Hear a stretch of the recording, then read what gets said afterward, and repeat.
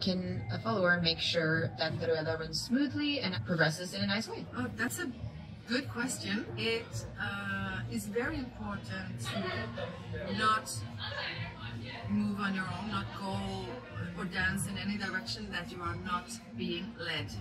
So you have to be following and being very active and awake as a follower for your leader to lead you in the direction where you're going because the rueda goes in both directions and it goes inside the circle outside and you have to be prepared for that at all times.